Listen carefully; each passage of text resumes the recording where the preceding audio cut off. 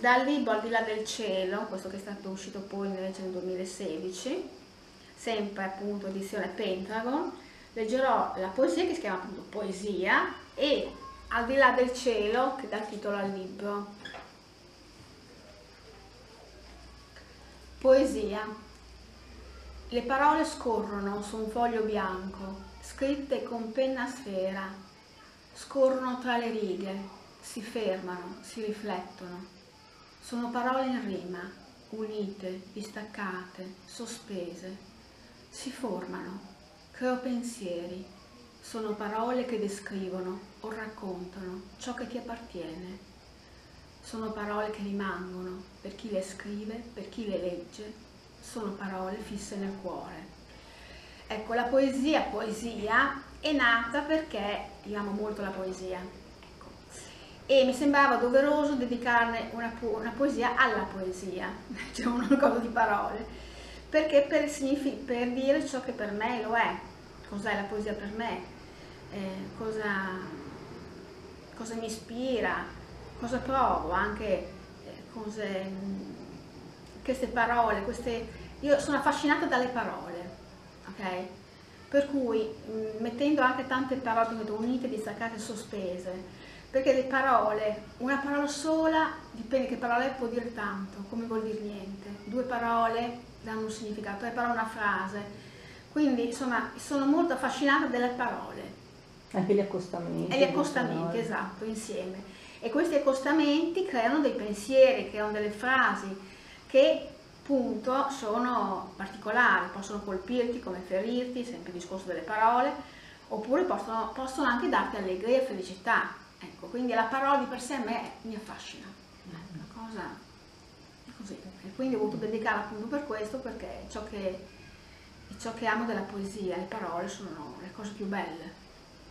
Mi. L'esistenza, sì. Esatto. Infatti. Adesso leggerò invece Al di là del cielo, che dà titolo al libro. Spazi aperti, profumi e melodie nascono Mondi incantati crescono, energie nuove si incontrano, colori e magie si fondono in un legame unico, in assenza di parole, che mi trascina lontano là dove nasce il sole. Ecco, mi è stato detto perché questa poesia. Allora, questa poesia perché? Perché cosa vuol dire al di là del cielo? Mi è stata chiesta in molte presentazioni così. Al di là del cielo vuol dire al di là di quello che c'è della realtà, della fantasia, realtà della nostra eh, mondo magico, molto anche realtà. E allora mi sono detto, e al di qua cosa c'è? È stato detto. Al di qua c'è il presente, c'è la vita di tutti i giorni, c'è la routine. Tu al di là puoi andare quando vuoi, nella tua intimità, nella tua fantasia, nei momenti in cui ti ritiri, no? come faccio io, un po' come gli animali mi sono detta, un po' gli animali si ritirano nella loro tana per stare lì accovacciati, a riflettere, a pensare o anche proprio per isolarsi, per il piacere solo di isolarsi e stare con se stessi. Leggo Notte di luna, luce chiara e lucente, risplende e rispecchia nel fiume, una barca a remi abbandonata, cespugli incolti e fragili, si lasciano cullare nell'acqua, onde raccontano segreti e lasciano segni rubosi. Una notte di luna questa, di luci notturne, di silenzi incantati, di messaggi di pace che vanno a nascondersi nei cuori solitari. Questa è nata, un esempio, una sera, una sera lì che insomma facevo niente di particolare, stavo leggendo dei libri, perché poi leggo sempre libri di poesia, perché mi devo sempre, devo sempre studiare, e eh, osservando, leggendo dei libri di poesia di qualche autore, così sfogliando e poi, ripeto, io sono molto immersa quando leggo le poesie, mm. mi, cioè, mi distrae completamente, non, non sento niente. Ti estranei da tutto. Estraneo da tutto. Sì c'erano delle parole, alcune poesie che mi, da, mi, ispiravano. Ed è nata secondo me questa. Ed è nata perché è nata in una sera appunto che c'era la notte c'era il cielo terzo, le, le stelle. Era vicino al mare? Cioè... No, l'idea della barca è venuta perché appunto leggendo questa poesia, guardando un po' fuori che c'erano le stelle e mh, immaginando una, una, cosa che avevo visto nel passato, tempo fa, che amo molto il mare, quindi le ma il mare, le barche al porto, ecco, ecco è nata tutto un miscuglio, no? tutte immagini che mi sono apparse a livello mentale c'è stato appunto come un puzzle no? mm. di pezzi uniti ed è nata questa poesia che mi ha dato delle emozioni fortissime. Quando la scrivevo... Sì, sembra proprio di vedere sì. il, il, il, buio. Infatti, io anche quando la leggo lontane, ritorno lì in questo posto, vedo la barca Remi, il mare blu tutto calmo, la luna. Mm, ecco, io vedo questa immagine. Barca Remi vissuta a me mi mi, mi, mi fa dei, mi in mente dei ricordi, no? Uno può immaginarsi sopra ciò che vuole, non so.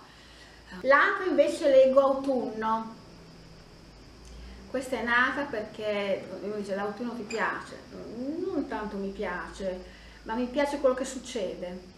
Perché io da ragazza a scuola ricordo che scrissi un tema sull'autunno e, e solo vi so dire perché cosa ho scritto, poi prende molto spunto da questa poesia. Autunno, foglie ingiallite cadono, leggiadre, fiere, ognuna fa una sua danza, tappeti colorati si stendono, è l'anima del mondo che sta morendo, senza un respiro si spengono perché l'autunno mi ricorda molto, io vedo, sono affascinata dall'autunno, dal paesaggio dell'autunno perché vedo queste foglie che cadono, allora eh, a loro do un'anima per, per, i voli che fanno, no? Fanno dei mm-hmm. voli, uno diverso dall'altro, come appunto ho scritto qua, e ormai cadono perché hanno fatto il loro periodo, deve arrivare l'inverno, si spogliano degli alberi, gli alberi così nudi perdono il loro vestito, quindi io lo vivo come mm. non l'albero che cadono le foglie, invece lo vedo come un vestito, perdono il loro, il loro vestito colorato, eh, si devono affrontare l'inverno, prendono freddo, cioè, cioè vivo in questa maniera. Cambio dell'abito. Esatto, il cambio dell'abito, quindi soffro per loro, perché anche io mi sento come una foglia in certi momenti che cade per terra perché appunto deve affrontare determinate cose nella vita, come tutti hanno, ci sono delle problematiche più o meno, e quindi a volte ti senti anche una foglia così ingiallita e crespata che cade per terra perché in questo momento devi cambiare un po' la vita, cambia vestito.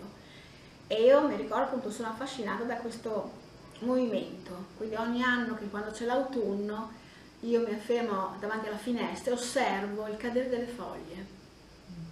E un po' mi, mi viene un po' di malinconia, eccetera, quindi vengono in mente dei ricordi, poi leggo invece una poesia che si chiama Occhi. Occhi, questa è stata dedicata a una signora, perché quando faccio anche delle poesie mi chiedono sempre le dediche. Mi scrivi una poesia? Dico, non è che nasce ah, così. Ah, sì, sì. sì. Ah, ma sempre, eh? Al mare. Questa qui è nata appunto al mare, che ero in albergo, quell'anno là, mm, vado a Milano Marittima, e mi è stato detto, ma anche se sei così brava a scrivere, mi dedichi una poesia? Questa persona ha degli occhi verdi, molto belli. Dico, io l'ho guardato un attimo, sì, va bene. Appena guardata mi è venuto subito. Dico, beh, non è che possa nascere così nella poesia, cioè eh, a volte vengono dei lampi, ma non è che è sempre uguale. E allora dico, vabbè, adesso fammi, fammi guardare no? il tuo viso, no? il tuo corpo, cammina, insomma, gli ho detto un po' di cose. Dopodiché la sera stessa mi sono proprio mi è venuto un lampo veramente dopo non ci ho più pensato ed è nata questa poesia.